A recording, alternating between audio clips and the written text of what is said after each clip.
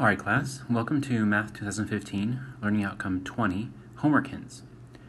What we're going to do in this video is I'm going to get you started on the problems um, and have you finish them, so it's a little bit different approach than what I've done in the past. In the first problem here that I'm going to do, uh, number 29, shows 2 fifths added to x over x plus 3. So this is our first problem in the homework set that has us add um, what they call rational expressions, and which are just fractions with variables in them. In number 28, they go over how to do pictures of operations with fractions with just numbers, so arithmetic. But here's where the new material is. Number 20 is just a review from 2010. The first thing that we do when we add two fractions together, whether they be rational expressions or just arithmetic numbers, we need to find a common denominator. And since there's no nothing in common between 5 and x plus 3, we'll just multiply the denominators as we did in the lesson to get the common denominator. So we have 5. We are going to add two fractions where the denominators are 5 over x plus 3 which is sorry, which is something over 5 times the quantity x plus 3. Okay? And what we do is what we look at the difference here between what our old denominator is and what our new one is. Okay?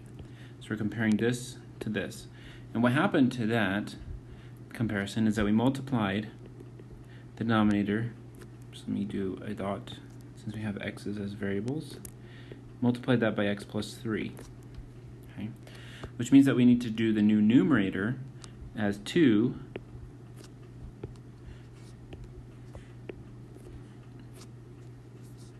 times x plus 3 as well.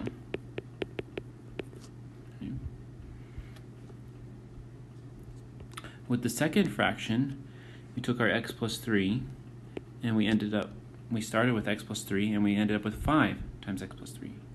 So what we did between here and there is we multiplied by 5 and we'll do that same thing to the new numerator. The old numerator is x, and I'm going to multiply by 5 for my new numerator here on this one. Okay. So I've converted my my uh, fractions to equivalent fractions with the same denominator. So what we're going to do is what we have as our new equivalent fractions is 2 times the quantity x plus 3 over 5 times the quantity x plus 3 plus 5x over 5 times the quantity x plus 3. And the next step is to go ahead and add the numerators and simplify if necessary. So let's to get you started on the, that number 29. Number 30 is subtracting fractions. Subtracting rational expressions, I mean fractions with variables in them. So we have x minus, so we have 4 over x minus 2 times x plus 3. Now when I do a fraction where it has such a long denominator, and a short numerator, I write my, I write my denominator first. I can put the numerator above in the middle. I'm going to subtract off 3 times the quantity x minus x plus 5 times x minus 2. And that's 3. Okay, so here's my problem. What I'm going to do is I need to find a common denominator, but they do have something that is in common between them. They have a common factor, which means that my denominator can have all three factors in it as the least common denominator. So we can set that equal to one fraction here that is has a denominator x minus 2, x plus 3. Now this this one right here, the second fraction has x minus 2 already, so all I need to do is add on x minus 5 to my to my denominator. X plus 5, I mean. There we go. Now there's going to be, that's going to be my new fraction for this first one here. The first number, which is the minuend of the subtraction problem. And I'm going to subtract off and the subtrahend here, the second number, with the same denominator. And I'm going to rewrite the order here a little bit so that they have the same order in both fractions. But it's okay because multiplication is commutative. Okay, so what are my new numerators? This one right here started from x minus 2 to x and x plus 3 to x minus 2, x plus 3, x plus 5. So multiplied by the quantity x plus 5. That's what happened to that denominator from the old one to the new one. And what I'm going to have to do is I'm going to do write my new numerator times the difference in the factors here. So it's 4 times the quantity x plus 5. Let's take a look at the second fraction from this old denominator here to the new denominator there. We have x plus 5 is the different factor. No, it's the same factor. x plus 3 is the new factor. So this one has x plus 5, x minus 2. Here's my x plus 5 and x minus 2 here. And what I need to do is I see, oh, there has been something multiplied here, which is the x plus 3. So that's what I'm going to multiply by my old denominator to get to my new one. It's going to multiply by x plus 3. So that my new numerator is 3 times the x, x plus 3.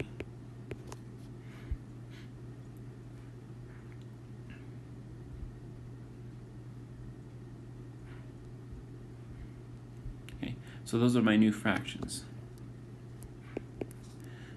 We have the new denominator x minus 2, x plus 3, x plus 5. That's all under 4 times quantity x plus 5. I'm going to subtract that from the same denominator, x minus 2, x plus 3, x plus 5. All under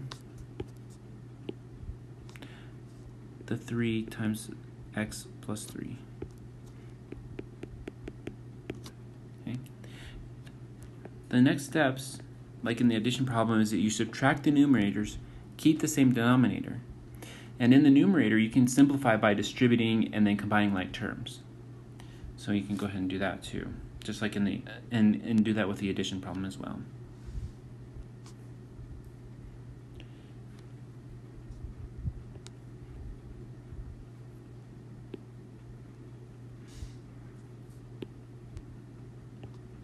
Okay, number 31. Let's get you started on that one. Number 31 is multiplying fractions. Okay, what are we going to multiply? We're going to multiply p plus 4 over 6 times the quantity p plus 2 times um, 4 times the quantity p minus 1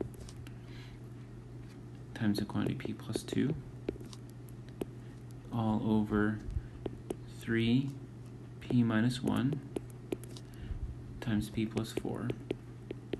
Okay. Here we are multiplying fractions, which means that we just multiply the numerators and denominators first.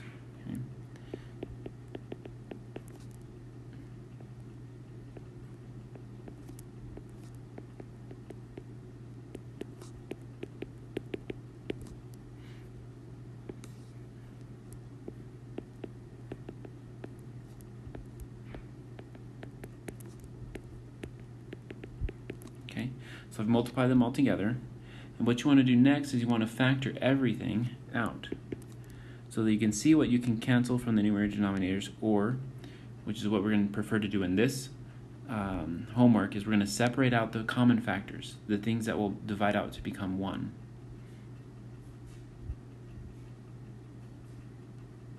Okay. So let's factor the numbers and all the factors that are binomials, or two terms, we'll keep intact as well. So this 4 in the, in the numerator is what is calling to me first. So we're going to factor that out to 2 times 2. Now I have p plus 4 is the same in the numerator and denominator. Notice that I've identified here and here. Oh, wait, actually I'm factoring, yeah, let's factor everything first, and then we'll go look at what's in common here. And that's in the numerator, numerators and denominators. We have p plus 4, p, p minus 1, p plus 2. All over 2 times 3 times p plus 2, 3p minus 1, plus 4. Okay, so the next step is to put all the common factors somewhere, either all before or all after the ones that aren't common. So we're going to separate those out. Now notice that we have 2's that are common. We have p plus 2, that's common, and p plus 4, that's in common. Okay, so all of those will be separated. I'm going to push them all to the end in this case. So ones that aren't common is the 2 times p minus 1 in the numerator. That doesn't have anything in common. Over the 3 times 3p minus 1. Okay. Multiplying all of that by 2 times p plus 4 times p plus 2.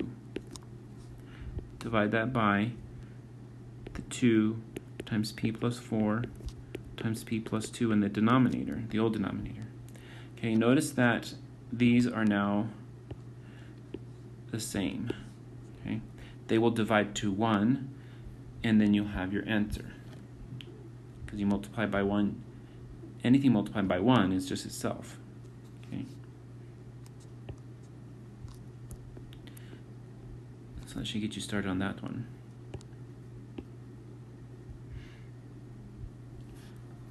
And then, let's see.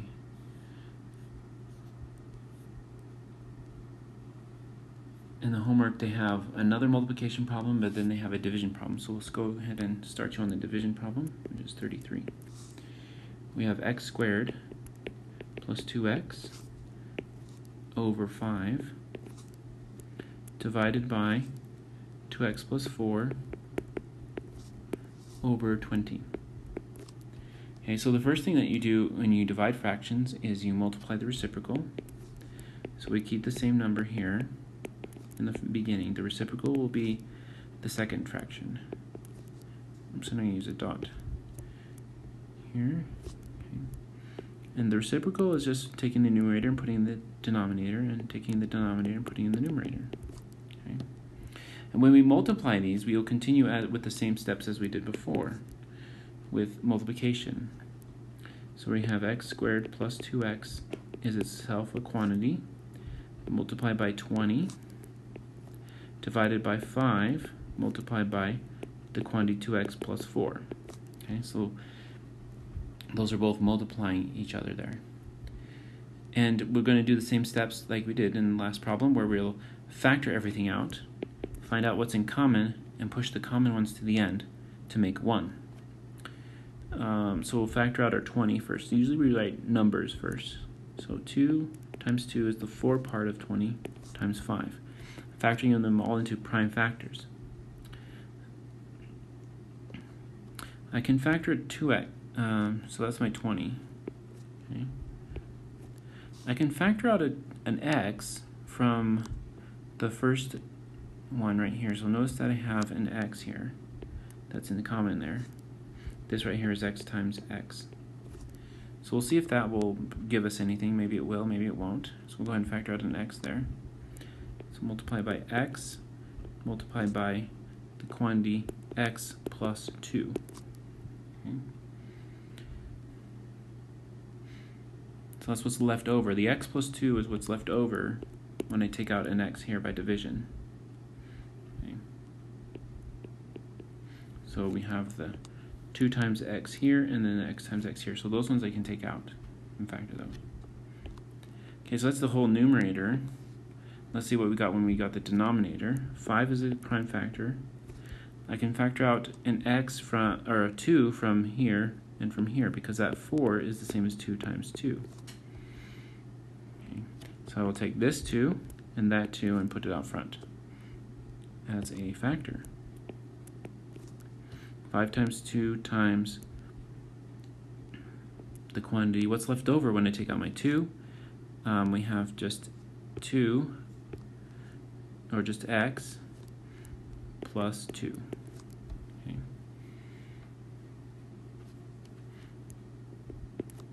So we're going to see what's in common, and we'll push things to the back that are in common. Notice that the uh, twos are in common here. There's one. Oops. There's one set of twos here. Okay, so those are in common. There's one set of fives here. So those are in common. And we have a set of x plus 2's right here. Those are in common. So we're going to put everything else into the front from the numerator and denominator and push everything else to the back.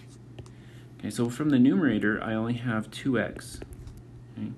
And it looks like there's nothing in the denominator, so 2x will be multiplied by the things that are in common here. 2 times 5 times x plus 2. Okay, and do that over 2 times 5 times x plus 2.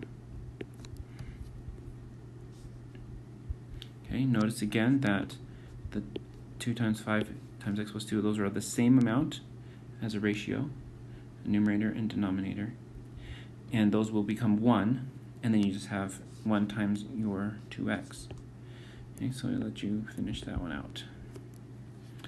Okay, hopefully this was a good help for the homework. And do what you can on 35. Um, that one, just, I'm not really going to grade, but you can look at what uh, what pieces of knowledge the elementary students need to know before they do these kinds of operations with rational numbers. But uh, yeah, hopefully you enjoy this video and good luck with homework. Let me know if you have any questions.